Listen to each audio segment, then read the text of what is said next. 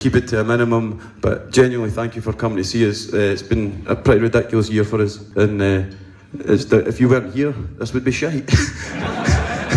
so cheers, cheers everyone. Uh, uh, on, on, this, on this, on that point, it's called "I Became a Prostitute." Not that I'm calling you prostitutes or me prostitutes. So John Paul's a prostitute. He's at the merch desk.